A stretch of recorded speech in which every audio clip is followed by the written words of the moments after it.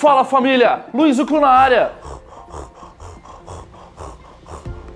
Vamos falar de uma raça que é muito boa em ser companheira e também ser muito fofinha? Eles podem ser chamados de French, Bulldogs, Bulldogs franceses, tem vários nomezinhos que vocês encontram na internet. Mas hoje vamos ficar um pouquinho mais por dentro da raça Bulldog francês. Mas antes de a gente conhecer um pouquinho mais sobre essa raça, não deixe de se inscrever aqui no canal e também acionar o sininho de notificações e venha fazer parte dessa família. Carinhas achatadas, focinho muito gostoso com aquelas bochechinhas bem gordinhas, com um sonzinho de ronco bem característico, os bulldogs franceses vieram originariamente da Inglaterra.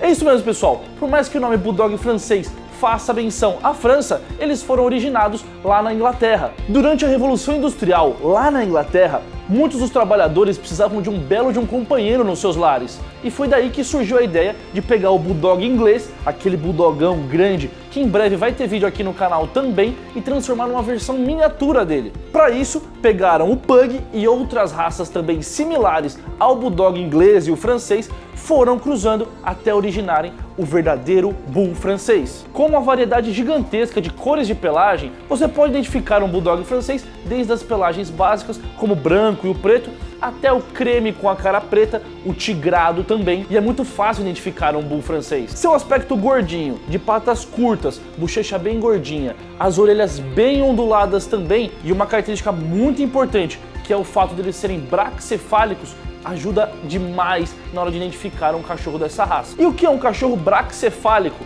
Eu já falei sobre isso em outro vídeo aqui no canal sobre os pugs. Se você quiser acessar, tá aqui nos cards que são cachorros que têm a cara achatada. Eles apresentam a sua mandíbula posicionada levemente à frente da linha do seu nariz. E isso faz com que a sua resistência e sua capacidade respiratória diminua bastante. Então, se você está pensando em ter um bulldog francês, ou se até mesmo já tem e quer que ele seja um cachorro extremamente ativo, muitos cuidados devem ser tomados.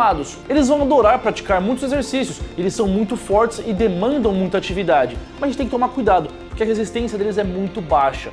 E expor eles a exercícios muito intensos pode fazer muito mal. Outro cuidado que é muito importante que vocês, donos de bulldog franceses, têm que ter em relação à temperatura. A termorregulação deles não é tão eficiente quanto um cachorro com um narizinho normal. Isso porque a sua principal forma de regular a sua temperatura corporal é pela ofegação, e eles apresentam esse probleminha em não conseguirem fazer tão bem essas trocas. Por serem extremamente fortes, não apresentam grandes problemas de musculatura e nem nas suas juntas, porém, pela sua conformação, pela sua anatomia, apresentando uma cabeça muito maior do que o seu corpo proporcionalmente e o seu tronco também muito maior do que o seu quadril, eles apresentam uma enorme dificuldade em se reproduzir naturalmente e também na hora do parto. Isso é um problema, porque a mamãe bulldog francês vai ter que parir cachorrinhos com uma cabeça bem grande já com o seu quadril sendo muito pequenininho. Outra característica muito importante dos cães que apresentam pelagem curta, de pelos muito pequenininhos,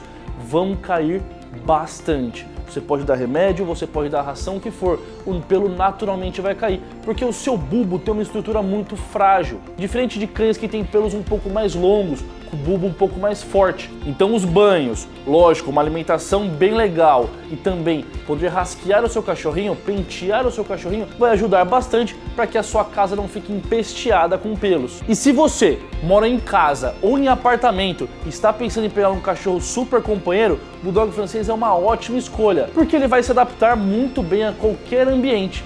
Porém, tome muito cuidado, eles requerem uma série de atividades e também requerem um adestramento em dia. Eles têm que ser treinados, porque senão você vai ter problema em casa. Destruição, latidos em excesso, estresse, todos os problemas comportamentais tudo isso daí vai acontecer na cabecinha do seu bulldog francês e vai transformar a sua vida num verdadeiro inferno.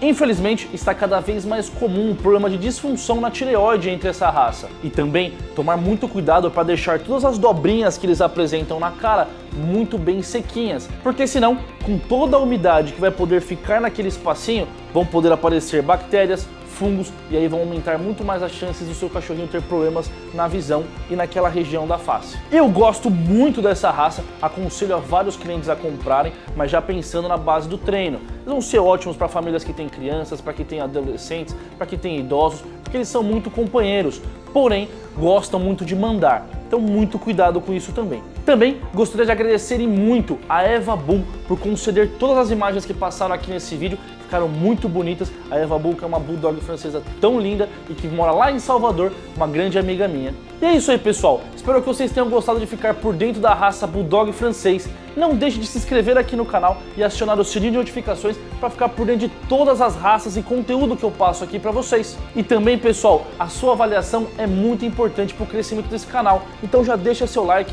manda um comentário do que você achou desse vídeo, que é muito importante para nós. E também fique por dentro de todo o conteúdo que eu posto pelo Facebook e pelo Instagram. Tem bastante coisa exclusiva que eu posto por lá também, pessoal. E espero que vocês tenham gostado. Vejo vocês no próximo vídeo do canal. E é isso aí. Tchau, tchau.